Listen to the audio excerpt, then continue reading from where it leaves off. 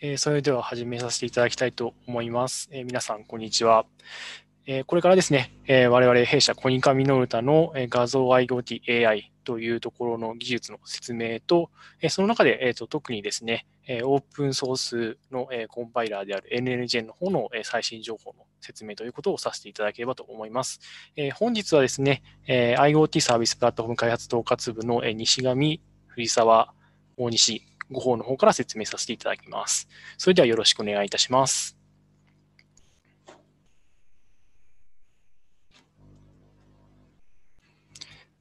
まずアジェンダの方がこちらになっております。えー、まず、えー、最初に全体の概要の説明という形で構想の方を説明させていただきます。で、その後にですね、FPGA アクセラレーター向けのオープンソースコンパイラー NLGen と、えーと、こちらは、えー、説明させていただいた上で、それの応用事例の方を説明させていただきます。で最後にですね、今回 OSC の、えーと、オンライン京都ということもございまして、えー、関西方面に新しくできます開発拠点、イノベーションガーデン大阪というところのご紹介をさせていただければというふうに思っております。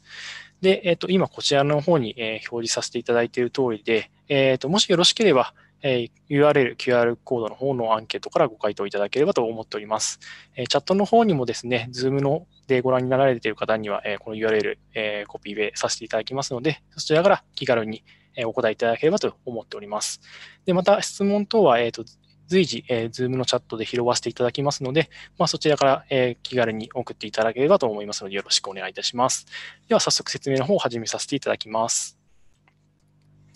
では、まずはじめにですね、コニカミノータが推進する画像 IoT、AI 構想についてご説明いたします。え、まずはじめになんですけれども、これまでコニカミノルタ、皆さんおそらくプリンターであったりとか、プラネタリウムだったり、そういったものの、えー、とイメージがあるかと思います。で、これらの技術、これらのえ我々の製品ですね、もともとこのコア技術と言われているこの左側の部分、光学、画像、材料、微細加工といった、まあ、いわゆるその画像に関わるような、えー、と技術の方を、えー、と有しておりました。で、えー、とベースとしてはですね、この人間にとって大切な見たいというものをベースに新たな価値を提供していく会社だというふうに、えー、と我々の方を定義しております。で、その中でですね、今後はこの右側の見せると、まあ、5つの、領域があると思うんですけれども、こういった様々な、えーと、情報を見せるデジタルカンパニーへの変化というところを、えーと、我々目指しているところになっております。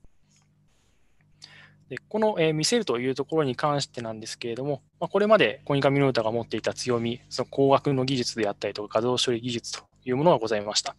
で、それに今新たに、えーと、研究開発を進めております IoT、AI の技術を組み合わせて、まあ、この組み合わせによって高度な画像 IoT ソリューションというものをお客様に提供していきたいと考えております。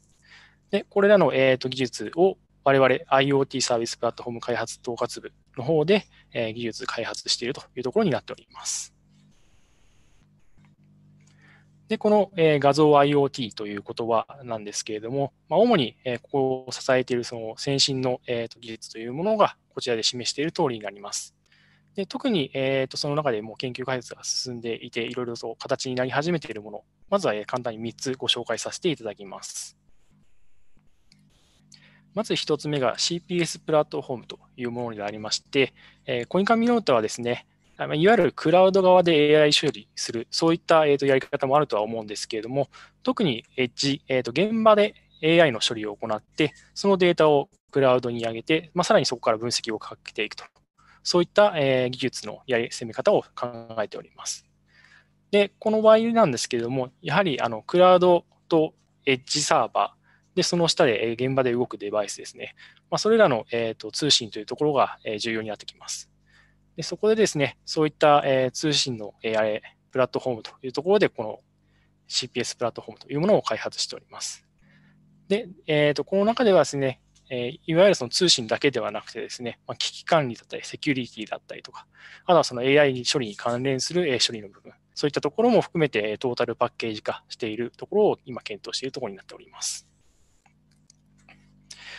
で続いての技術がディープラーニングアルゴリズムというものになっております。まあ、特にここはあの目に見えてその IoT、AI というところで、えーと、優れたところと言えるところなんですけれども、えー、このコニカミノータではですね、人行動分析、先端医療、検査領域というところに特化した AI のアルゴリズムの方を開発しております。で特に、特筆する技術なんですけれども、まあ、この左の図のようなコンピュータービジョンのトップカンファレンスの中で、まあえー、某、えー、IoT、AI の、まあ、巨大企業である他社さんとの比較においても、えー、同じ精度の中でも10倍高速な、えー、指定推定のアルゴリズムというものを発表させていただきました。えーまあ、具体的にはこういった右の上の図になるんですけれども、18点の関節点の位置を、まあ、最大20人、これ1人でもま20人の同じ速度で検出できるような、そういった技術を持っております。で、これらがですね、まあ、この後にも少し紹介させていただくんですけども、介護施設の転倒検知であったりとか、購買分析のプロジェクト、そういったものにも活用をし始めているところになっております。で、ここからが、えっ、ー、と、デモのイメージ動画を流させていただきますので、ちょっと画面切り替えますので、少々お待ちください。今こちらで映しているのがですね、その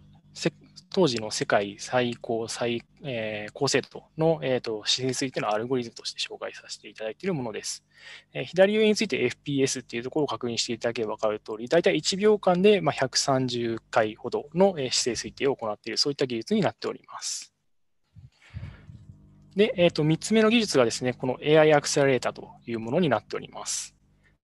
こちらはですね、先ほどの AI アルゴリズムという、まあ、いわゆる姿勢推定だったり、えー、先端移動とそういったさまざまな技術があるんですけれども、えー、そういったものをですね、えー、FPGA という、まあえーと、アクセラレーターといわれる、いわゆるそのチップみたいなものですね、に、えーと、できるだけその軽量なものに、えー、その高精度な処理を載せることによって、エッジ型でのえー AI 処理というものを実現していくものになっております。で、えっ、ー、と、今日の中でですね、ここの AI アクセラレーターの開発、事業適用であったりとか、あとは、えー、それを応用した変換ツールみたいなところですね。そういったところをもう少し詳しく説明させていただきます。で、ここからここからは、AI アクセラレーターのエンジニアである藤沢の方から、ご紹介させていただきますので、一度バトンタッチしたいと思います。では、藤沢さんよろしくお願いします。はい、えーと、ここからは、この画面と藤沢の方から紹介させていただきます。まずこの NNGen っていうところで、このニューラルネットワークジェネレーターの方から文字ってきてるんですけども、こちらは弊社独自というよりかは、まあ、東京大学の高前先生と一緒に共同で開発したもので、今現在も一緒に拡張したりとか、まあ、そう性能を上げたりとかっていう開発を進めているものになります。で、これ何をするかと言いますと、えー、っと、まあ、FPGA 向けで、さらに言うとディープラーニングのアクセラレーター回路を作るコンパイラーになりますが、まあ、ちょっとハード屋さんじゃないとまだよくわからないと思うんで、まあ、その辺を柔らかく以下説明していきたいと思います。まずちょっと話が最初に戻るんですが、えーとまあ、そもそもディープラーニングを製品適用する手段としましては、まあ、いろいろ細かく分ければいろいろあるんですけど、まあ、大きく分けると、まあ、そのセンサーとかカメラとかの方、エッジ側であるエッジコンピューティングっていう方法と、まあ、あと世の中に今 IoT 機器になってカメラとかがネットワークにつながるので、まあ、クラウド側であるクラウドコンピューティングって2つの方法があると思っています。で、まあ、どちらがいいかっていうのは、まあ、一概には言えなかったり、まあ、製品によってはどっちが向くっていうのがあると思うんですけど、まあ、それぞれ、え、っとメリット、デメリットがありまして、まずクラウドの方は、まあ、クラウドなんで、えっと、演算リソースとかが潤沢にあるので、まあえー、っと膨大な計算をまあ高速で実行は可能ですと。でただし、そのセンサーとかからネットワークを介してデータをもらって、その結果をまたネットワークを介して返すということで、情報送信から判断までの時間がかかってしまう、まあ、要は現場でリアルタイムに判断するっていうところに対しては、今のところ現状はまだ不向きだというデメリットがあります。それに対してエッジ側ですけども、まあ、こっちはもうセンサーの近くでやるので、まあ、低遅延でリアルタイムな制御っていうのが可能になります。ただその反面、まあ、現場のカメラとかの中で行うということで、えっと、演算能力が限られていたり、あと電力とかそういう制約があって、なかなか、えー、複雑な計算をリアルタイムでやるっていうのが難しくなっています。でただ、えっと、弊社としては、ま、こちらの入力デバイスとかに強みを持ってますので、こちらで、ま、ディープラーニングをやることで、ま、製品の差別化を、ま、どんどん図っていけるという考えで、こちらに力を入れて進めておりまして、その手段として、ま、NNGen を活用していこうというふうに考えております。えっと、エッジ側で、まあ、実装する上で、まあ、CPU とか GPU とかあるんですけど、弊社としても FPGA をかん、えっと一番メインとして考えております。FPGA と言いますのは、まあ、フィールドプログラムゲートアレイ、まあ、ちょっとこれを省略したものですけども、まあ、ちょっとハードウェアさんじゃないとわからないと思うんで、まあ、ちょっと強引に言うと、まあ、ソフトウェアとアイデハードウェアの中間なものになります。まあ、もう少し言うと、まあ、ユーザーが回路構成をまあ、変えることができる、まあ、柔らかいハードウェアですよということです。で、この FPGA の方も、まあ、最近、近年進化していまして、昔はまあ FPGA だけのチップがあるんで、それを制御する CPU とかの別のチップが必要だったんですけども、その辺が、えっとまあ、一つのチップの中に入った SOC タイプの FPGA というものが出てきております。まあ、これを使うことで、えっとコストが下げられるとか、まあ、本当にワンチップの中で何でもできるようになっております。FPGA の特徴としましては、そのカメラのセンサー入力とかを、まあ、独自で回路を作って、直接そのアクセラレーターとか、えー、と自分の画像画像画像処理とかの回路に入れることができるので、まあ、低遅延の処理が可能だったり、まあ、小バッチ、まあ、リアルタイムの処理っていうのが可能になります。でまあ、あとは、まあ、DL モデルっていうのは、まあ、世の中いろいろあるので、まあ、どれでも動くハードを作ろうとすると、まあ、冗長になって無駄が多くなったりするんですけども、まあ、柔らかく書き換えできるということで、まあ、それぞれのモデルに特化した回路を作ることができるんで、えー、最適な回路を載せて動かすということができる特徴があります。で今までまあ FPGA のメリットばかり言ってますが、まあ、デメリットはもちろんありまして、まあ、結局はハードウェアなので、まあ、ハードウェアの言語、ベルログ HDL というものによって開発する必要がありまして、まあ、これはまあソフトウェア実装に比べて開発コースがかなり数倍から数十倍かかるというものになります。でそのデメリットを補うために、えーまあ、最近 C、C++ からまあハードのハードに起こすという、まあ、高位合成、 High Level Synthesis っていうものが、ツールが出てきております。でただ、えーとまあ、 Deep Learning の世界でいうと、そのアルゴリズム開発っていうのは、まあ、フレームワーク、 Deep Learning Framework を使っておりまして、まあ、これは、まあ、ほぼ、ほぼ、まあ、Python で書かれているということで、まあ、これを使うには、まあ、結局 Python から C、C プラに変換してあげなきゃいけない。でまた、えっと、この高位合成のデメリットもあるんですけども、と CPU が動くようなソースで、まあ、そのままハードにすることはできるんですけど、よくあるのが、まあ、CPU でやらせるより遅くなるっていうのがよくありまして、結局、言語は C、C プラなんですけども、ハードウェアを意識した記述に最適化しなきゃいけなくて、まあ、それに結構時間がかかるというデメリットがあります。であと、それを改善するために、まあ、既存の Deep Learning Framework Compiler っていうのが、まあ、FPGA ベンダーとか、まあ、このサードパーティーとかも作って出しております。でただ、まあ、ベンダーが作ってるツールというのは、まあ、そのベンダーの、まあ、FPG ベンダーの FPGA に、まあ、ロックインされておりまして、えー、とそのベンダーのツールがバックエンドで動いているというものになります。でそのためにそのベンダーツール固有の最適化、使いこなしっていうのが必要ですし、その結局チップと一緒にチップを自由に選択するっていうことがなかなかできづらくなる。また、そのツールでま閉じてブラックボックス化されてしまっているので、まあ、ユーザーが自由にカスタマイズっていうのがしづらくなるっていうデメリットがあります。えー、ということで、課題としましては、高効率なディープラーニングのハードウェアを、ま FPGA に手軽に実現しづらいっていう世の中のツールではあるので、弊社としてはま高い抽象度で手軽に実装できて、え性能最適化できてカスタムできるというコンパイラーを作ってしまうということで、まあ、その東京大学の玉前先生と一緒にこの NNGN を作って作りました。えーとまあ、NNGN とはということで、まあ、このさっき言った特徴のあるコンパイラーということなんですけど、大きく言いますと3つ特徴があります。えーとまあ、1つ目は、えーとユーザーモデルユーザーのモデル記述から Deep Learning Hardware を自動生成できますと。えー、とこれどういうことかと言いますと、えー、とモデル記述に、まあ、 TensorFlow、まあ、 Deep Learning のフレームワークの一つなんですけども、その TensorFlow-like なプログラミングモデルっていうのを採用しております。なので、そのフレームワークから簡単にこの NLG に入れることが、入力することができます。であとは、そのオニキスという、えー、そのディープラーニングの、えーと、共通インターフェースの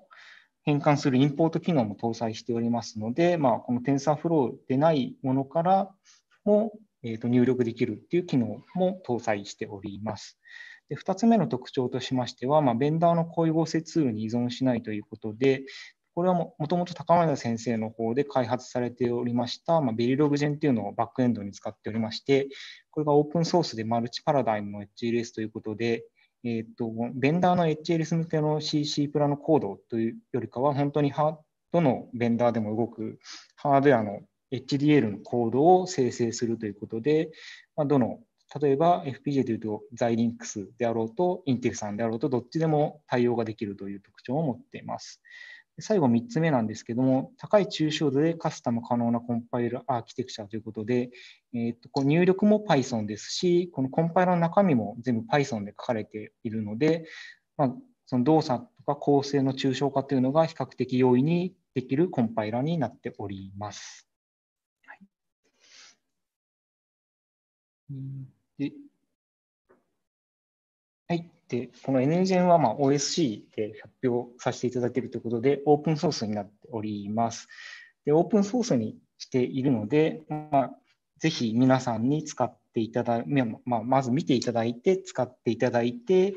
イシューとか上げてもらったり、まあ、できればこうした方がいいよっていう、このコミュニティが活性化することを期待しておりますので、ぜひまずは見るところから始めていただければと思います。で次が、えーと、この NHK の対話発表としましては、えーと、昨年の11月に、えーと、その共同研究の成果をオープンソースとして公開しましたよというのを弊社のプレスの方からリリースさせていただいております。で次が、その後、今年の2月ですね、えっ、ー、と、日経ロボティクスという雑誌の方に、と取材されまして、えー、とその内容が掲載されております。これはまこちらから出してよって依頼したものじゃなくて、向こうからどういうのですかって聞いて記事にされた第三者的な記事になっているので、まあ、結構いいいい記事とも私が言うのも変ですけど、まあ、その客観的な内容が書かれてある内容になります。はい、であと、最近ですけども、えっと、先々週ですかね、表彰があったんですけども、えっと、経産省と NEDO が主催している AI1 コンテストで、この NAGN を使ったチームが2位になっております。でこれ、えっと、デバイスは Xilinx のデバイス使ってまして、この他のチームはその Xilinx のツールを使ってゴリゴリやってるんですけど、まあ、その中でもこの NAGN 使っても2位になれたという結果が出ております。あとは、その FPGA 活用推進団体というと、ホームページ、まあ、団体があって、その中にまホームページもあって、まあ、そのブログがいろいろ載ってるんですけども、その中でその共同開発先の高前先生の方が NAGEN とは何だ何ぞやとか、この簡単な使い方などをブログとして適宜掲載しております。で、今2個出てまして、今日あたりに3つ目の対策が載ると聞いておるので、ぜひアクセスしてみていただければと思います。はい、で次の次からは、その NG を使った応用事例ということで、まずは弊社でどういうふうに活用しているのかということを簡単に紹介させていただきたいと思います。えっ、と、弊社の方はこの NG を使って、えっ、と、HAI デバイス開発ツールという、まあ、統合したツールというのを作成して活用しております。弊社の最初の西上の方から説明ありましたように、アルゴ開発チームというのも別途いまして、まあ、そこで独自のアルゴリズムを日々開発してるんですけども、まあ、それに特化した量子化ツールを作成しております。で、その量子化した結果を、えーと、今回発表である NNGen に入れて、でさらにその弊社で動かすためのシステムは、このディープラーニングアクセレーター以外の回路とかを載せた、まあ、動かすことのシステムを組み込んだ FPGA の回路を作るってところまでを、まあ、ツールとして開発して、まあ、アルゴ開発できてから素早く実機の FPGA で動作を動かして確認できるという環境を作成しております。でこちらはその最初はもう Linux 上で開発して、まあ、やってるんですけど、もう少し簡単に使いたいよねということで、これを一気通貫で実施するウェブ版のツールというのも作っていて、えー、と本当に気軽に使えるような形で広めようとしております。で次からはそのウェブ版のツールでどんだけ簡単に動かせるのかというのを紹介したいと思います。で、まあ、画面、画面はこんな感じで、まあ、これはまあいいですね。簡素な画面なんですけども、まあ、シンプルになっています。で、まあ、最初に、まあ、モデルを、まあ、これ今、カフェとオニキスが対応してるんですが、まあ、どちらを読みますかっていう設定をしてあげて、まあ、そしたらもう本当のフレームワークの出力であるネットワーク情報を読み込んで、あとはちょっとハードウェアのパラメータを設定してあげて、あとはもうランをするだけで、えーとまあ、結果が出て、まあ、これをもう FPGA 上に持っていけば動くという、まあ、そういったことで、まあ、タットを上げて、いろいろなアルゴリズムを実際動かして評価するっていうことを素早く回すことで開発効率を上げる取り組みを行っております。で次がその、このツールを使って作った物体検知のアルゴリズムを動かしているデモで、まあ、このテレフォンカードをやってると、まあ、年がばれるんですけど、まあ、名詞代の基盤を使って、この物体、今人とか、えーと、馬とかを認識して、まあ、18fps で実際リアルタイムでカメラの絵を動かしているというデモ画像になります。はいえー、で次の事例からは、えー、弊社の5法の方から説明をさせていただきます。はい、コニカミノータの5法です。と先ほどのデモで見ていただきました、まあ、技術を使った事例を今回は2つ紹介させていただきます。まずは実際に事例で、事業でですね、活用している弊社のヒトメイクケアサポート事業での活用になります。介護施設においては、まあ、時間を決めて担当者が部屋を回って要介護者の様子を見ておりましたが、まあ、これでは何かあったときすぐ対応できなかったりとか、あるいはあの担当者が随時見回らなければならないといった課題がありました。で、コニカミュルタは天井からの全天球型のカメラから取得した映像から、まあ、部屋の中にいる要介護者の間接点の認識からその人の姿勢を認識することができるようになっています。で、これによって要介護者が座っているのか倒れているのか、転倒したのかをリアルタイムにエッジ側で認識することができるので、まあ、必要に応じた対処が可能になっています。で、天井からの視線認識ができるようになったので、あの部屋の中からの視覚がなくなるといったメリットもあります。で、こちらのデモでは、緑の文字で Estimation と書かれているところが、まあ、AI が姿勢を推定した値、それから赤文字の Ground Truth と書かれていたところが実際に目視で認識した姿勢について表示されております。ほとんど差がないことが確認できるかなというふうに思っております。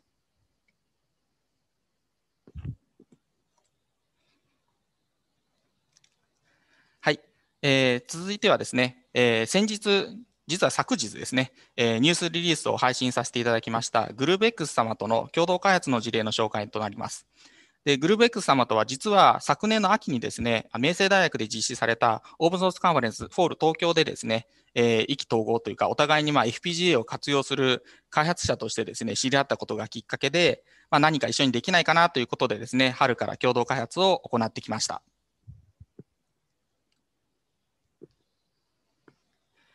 で今回ですね、共同開発してきた内容としましては、まあ、コニカミノルタの認識、姿勢認識アルゴリズムを使って、まあ、 GROOVE X さんの、まあ、愛らしい LOVOT ですね、が人の認識姿勢をですね認識できるようにして、まあ、その認識結果から LOVOT と、まあ、インタラクティブなですねコミュニケーションを取ることを目的として進めてきました。はい、で本当は、まあ、オフラインでですね京都で開催してそのデモ機を皆さんに体験していただきたかったんですけれども、まあ、今回は動画での紹介とさせていただきたいと思います。でまずはちょっとデモの様子をご覧ください。左のですね動画が、まあ、 LOVOT から見たあの人とその姿勢の認識状態になっているわけですね。それから右の動画がまあその様子ということになります。で今回は分かりやすいように人がまあ手を挙げている様子を LOVOT が見てどちらの手が上がっているかというのを認識してそれを LOVOT が真似してくれているというものになります。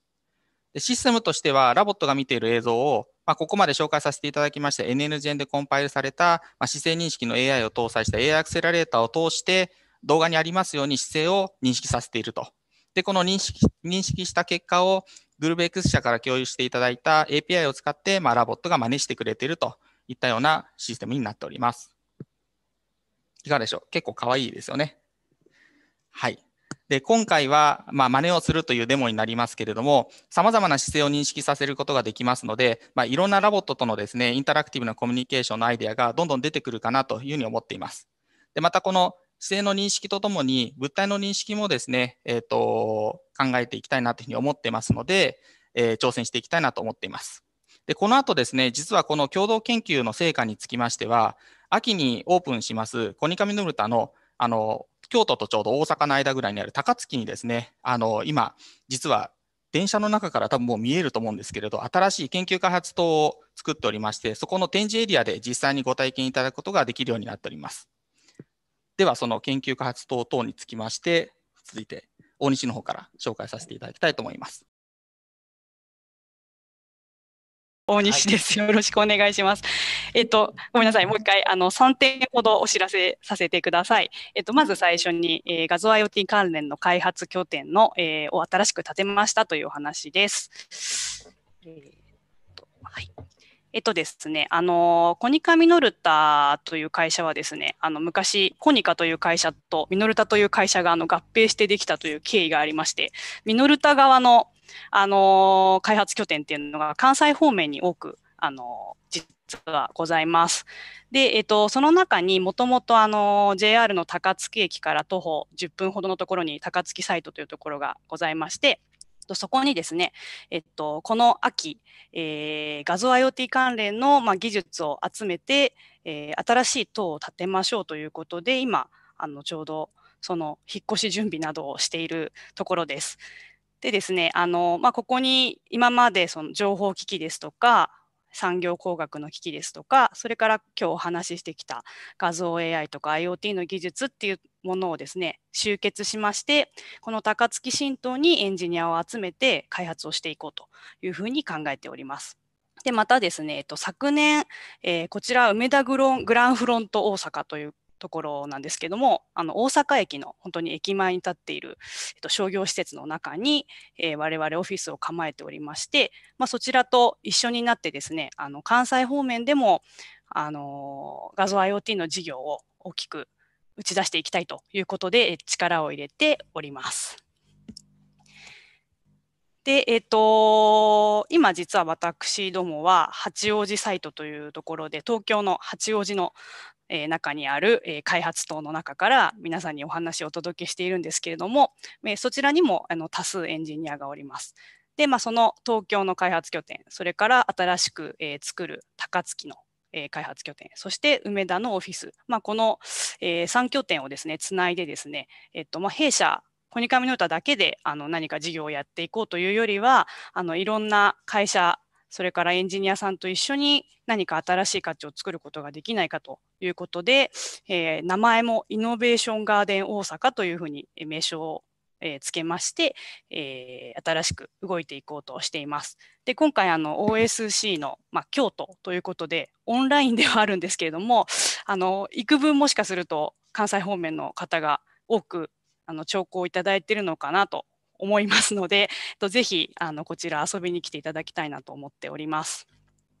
でですね、あのこの新しくできる高槻の開発棟なんですけれども、えっと、そちらにですね、えっと、展示エリアをあの設けております。で、その中で先ほど、えっと、話をさせていただいたラボットの展示もそうですし、えー、このページに書かれているのは、実は昨年のオープンソースカンファレンスの東京ホールでも、えー、出展させていただいたものなんですけれども、えー、今までお話ししてきた画像 IoT 技術っていうのを具現化したリファレンスシステムとして、ランニングフォーム改善支援サービスという、まあ、形にしてですね、皆さんにお見せしてご説明しようということで、まあ、こういったシステムを作って、えー、高槻のその展示エリアに、え、展示しようと思っています。でこれもしかすると昨年あのご体験いただいた方もいるのかなとも思いますが、えーと、どんなものかって言いますとこのトレッドミルですね、あのジムとかに置かれているあのランニングマシンをですね、実際にあの皆さんに走っていただいて、でその様子をあの測定用のカメラで撮影します。で、その、えー、撮影した画像に対して、えー、フォーム分析ということで、まあ、我々の、えーと、画像に対する AI 技術、AI のアルゴリズムっていうのを使って、えーと、分析をかけて、えー、その結果を皆さんにお見せするというようなシステムを作っております。で、まあ、あの、ランニング、どうしてランニングなんだっていうことで言いますと、えっと、実は陸上競技部がコニカミノルタって持っていまして、ちょっと最近、若干不調なんですが、え、ー、と、ニューイヤー駅伝などでは、あの、それなりの結果を収めている、あの、競技部があります。で、えっ、ー、と、その競技の、まあ、知見を生かして分析を行って結果を出すというところを、えー、皆さんにあのお見せするというのをやっておりますので、こちらも高槻に遊びに来ていただけると、あの、実際に体験していただくことなどもできますので、ぜひご検討いただければと思います。それから、えー、2点目ですね。2点目なんですけども、えーと、今回皆さんにお話しした画像 IoT 関連の、えー、技術ですとか、さまざまなイベント情報などをまとめて、えー、皆さんにお届けするための専用のウェブサイトっていうのを、えーオープンさせていただきました。これも出来たてほやほやなんですけれども、ここにちょっと QR コード載せておりますが、今日お話ししたような画像 IoT のコンセプトとか技術とか、と今日お話しできなかったような活用事例も含めて、えっ、と、いろいろと情報が載っていますので、もしご興味があれば、ぜひ後でご覧いただければなと思います。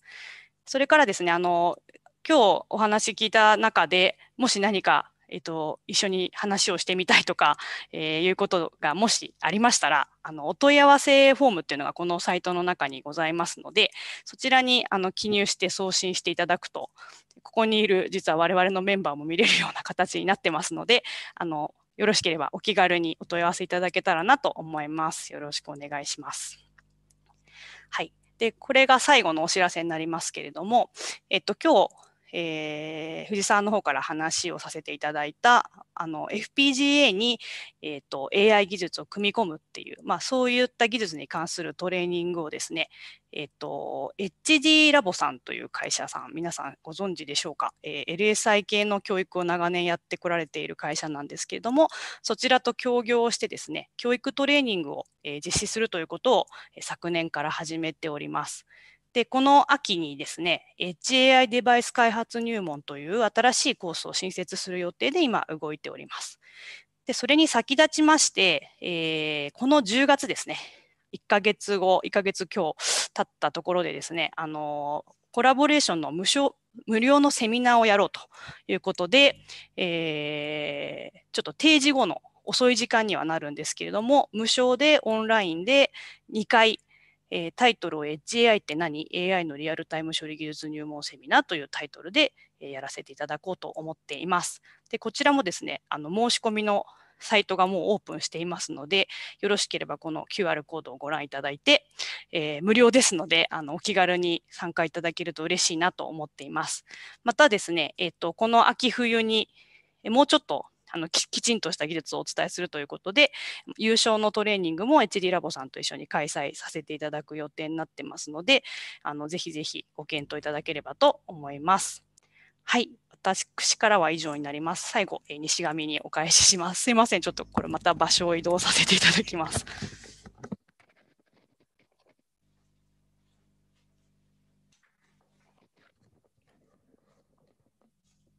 はい、え、ー、と、西上に戻らせていただきました。はい、えー、では最後のスライドになります。え、ー、と、以上で説明自体はおしまいになります。で、え、ー、と、まあ、繰り返しになりますけれども、えー、もしよろしければ、今日の、えーと、説明内容、えー、聞いていただいた上でですね、えー、このアンケートについてご回答いただければと思います。で、えっと、本日、えっと、聞いた内容でも、えっと、わからないことであったりとか、追加でお聞き、えー、聞いてみたいことありましたら、え、こちらの QR コードの方からでも、えー、とご質問内容を書けますし、あとは先ほど、え、大西から紹介させていただいた画像 IoT のサイトですね、そちらの方でも、えー、と確認できますので、よろしくお願いいたします。で、まあ、リンク集こちらに貼らせていただいたんですけども、まあ、後ほどこの資料もですね、えー、と展開できる内容を、えー、とまとめてですね、OSC の事務局さんの、え、サイトの方にも載せていただこうと思ってますので、まあ、そちらからご確認いただいても構いませんし、あと、えっ、ー、と、今ですね、えっ、ー、と、昨日ですね、ちょうど、えー、昨日という、まあ、大変ちょっと、急のあというか、えっ、ー、と、事務局の方にはちょっと無理言ってしまったんですけど、チラシの方を、えっ、と、貼らせていただきました。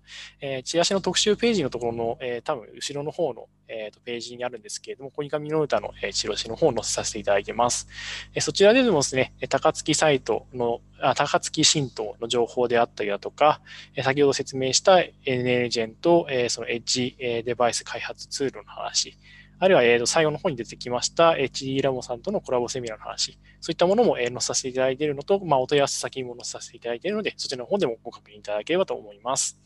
では、えっ、ー、と、我々の方からの説明以上となります。ご清聴ありがとうございました。えっ、ー、と、ではですね、ここから、えー、質疑というところをですね、回答できればと思いますけれども、ちょっと私の方でチャットの方が見れていなかったのですが、まずチャットのところは特に質問とかはないですね。もしあの口頭とかで、えっ、ー、と聞いてみたいこととかがあればよろしくお願いします。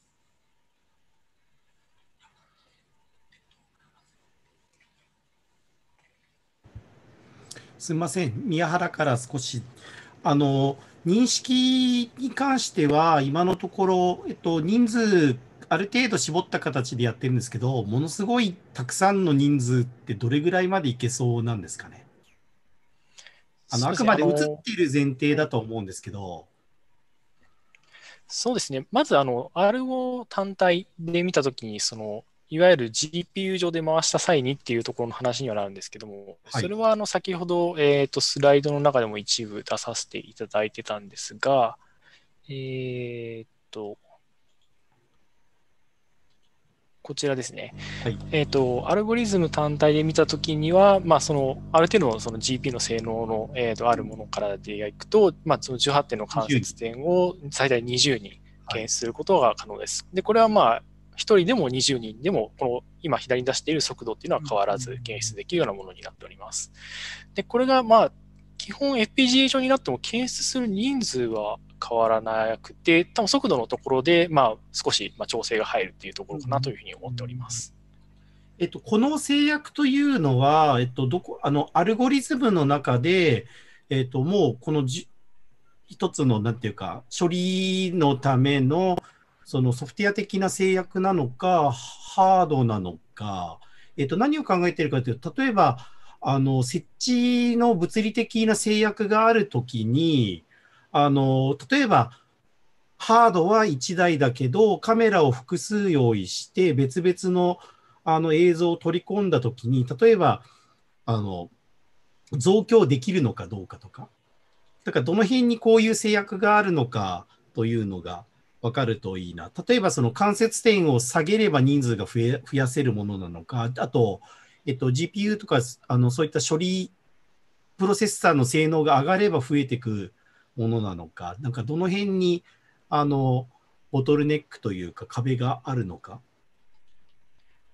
はい、そうですね。基本的にはこの今、えー、と表示しているページでいうと、この AI のアルゴリズム自体の制約なので、いわゆるソフトの制約になります。はい、で、ハードの制約っていうところになると、そのまあ速度の部分での、えー、と影響が起きてくると思います。で、今、先ほどおっしゃられた通り、その関節点をじゃあ減らせば、その分人数が増やせるのかっていうところなんですけども、そういう時代は、えっ、ー、と、このアルゴに関して言うと、多分やってみないとわからないっていうところになるかなと思ってます。というのも、あの、このアルゴリズム自体は18点の関節点を取るというところをベースにしてますので、まあ、ここはの学習データのそのアノテーションの付け方の違いだったりとか、そういったところによって、実際に多分、えっ、ー、と、学習させて推導させてみないとなかなかちょっと、どこまで人数をその荒くする、荒くできる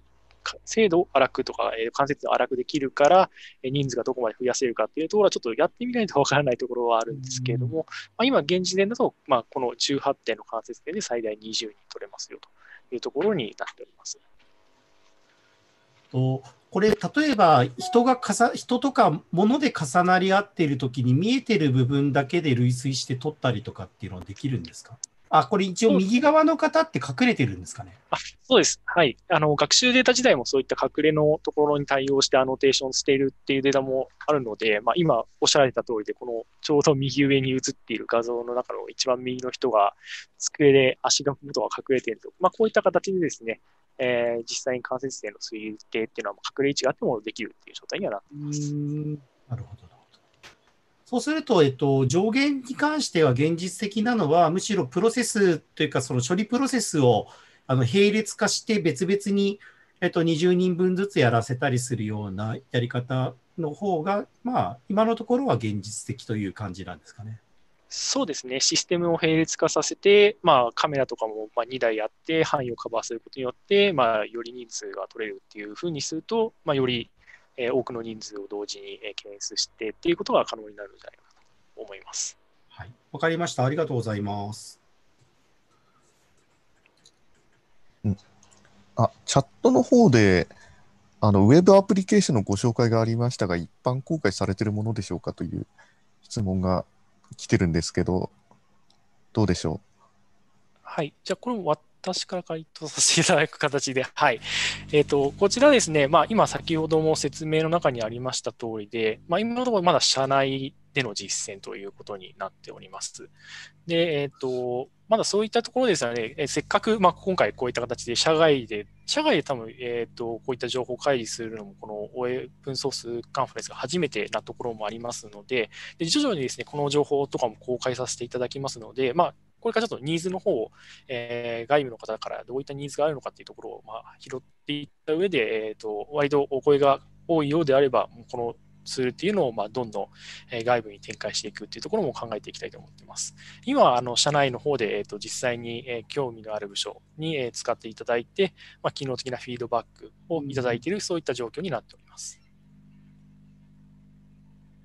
はい。なので、ぜひ、あの、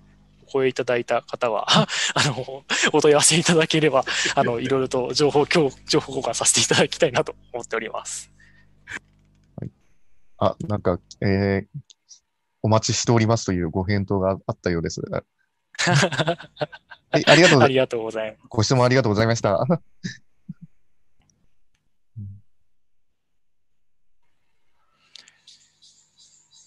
他には何かご質問、コメント等ありますでしょうか？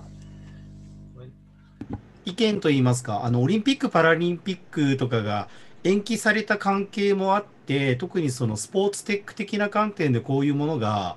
あの活用できるようになると、ちょっと今の時代に合ってるのが、そのトレーニングとかを、えーと、例えばコーチングが受けられないような状態の中で、あの動的に解析して、そのあのいろんなスポーツでできたりとか、あと、その過去の動画をベースに解析したりとか、なんかそういうニーズはいろんな、あの、こう、競技種目によって、こう、ニーズ高そうな気はしますね。そうですね、あの今おっしゃられていただいた通りで、もともとはあのこのアナリティックですね、もうまあこの2019年ぐらいからプロジェクトを始めてまして、で、まあ、ちょうど2020年で、まあ、えー、いろんなイベントですね。まあ、もともと東京マラソンだったりだとか、東京オリンピックだったり、そういったところにも、え、ー、と、なんか見せれるチャンスがあればというふうには思っていて、まあ、ちょっと今こういった状況もあるとは思うんですけども、まあ、このスポーツ関連で言うと、今のラナリティックだけでもなくて、まあ、他にも、えっ、ー、と、知見さえ、あの、組み替えれば別のスポーツであったりとか、別の運動だったり、まあ、何か人の行動に関するところにノウハウが付けられるものであれば、まあ、いろいろと応用はできるものだと思っていまして、まあ、社内でも今そういったところの検討っていうのは、えー、いろんなところで進めている段階ではあるので、まあ、ぜひ、まあ、そういったところで、さまざ、まな展開ですね、できるように、えー、今頑張っていこうかなと思っているところです。はい。ありがとうございました。そろそろ時間になりましたので、えっ、ー、と、このセッション終了とさせていただきます。ありがとうございました。はい、ご清聴いただきありがとうございました。